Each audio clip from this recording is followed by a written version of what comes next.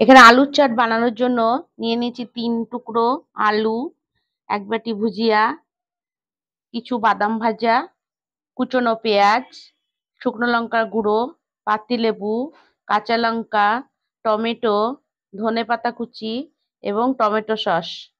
প্রথমে নিয়ে নিয়েছি তিন টুকরো সেদ্ধ করা আলু। আলুগুলো একটু ভাঙা ভাঙা করে নেব।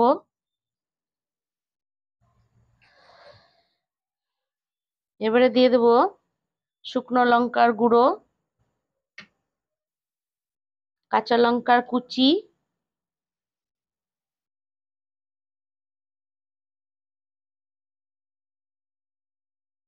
কুচনো পেঁয়াজ বাদাম ভাজা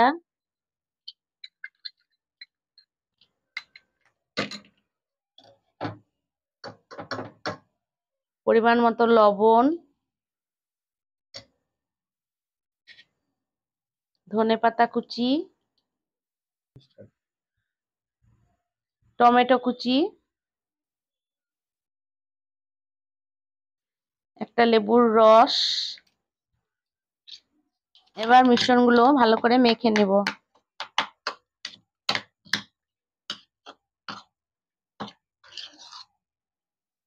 এর মধ্যে দিয়ে দেব এক বাটি ভুজিয়া।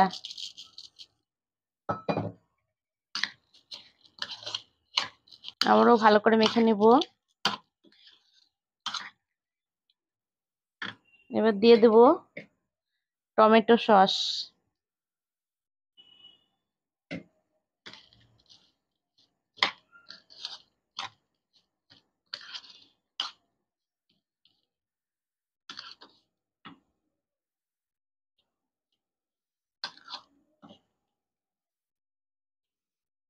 রেডি হয়ে গেছে আমাদের আলুর চাট।